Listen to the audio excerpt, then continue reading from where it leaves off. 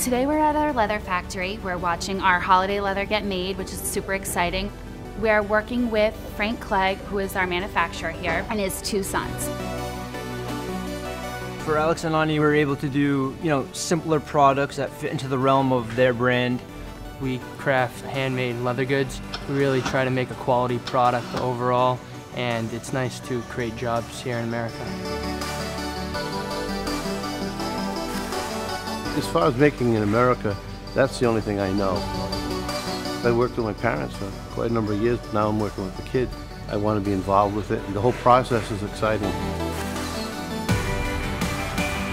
It's a fun environment to work in. When you get to work with your hands, it's a bit more fulfilling at the end of the day. You step back and you see what you created.